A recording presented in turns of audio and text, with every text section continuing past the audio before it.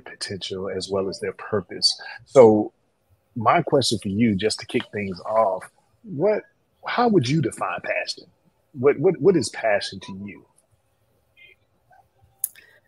Uh, for me, um, because I'm in athletics, passion sometimes becomes a little, um, I can't say confused, but uh, when a person kind of acts out of character, they say he's passionate or she's passionate uh, because they're in their zone.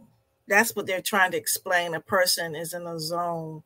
And I'm going to say, from a positive standpoint, uh, passion is being in the zone and uh, not having to think. It's like muscle memory. And it, it flows very uh, from A to B like a, a blink of an eye. And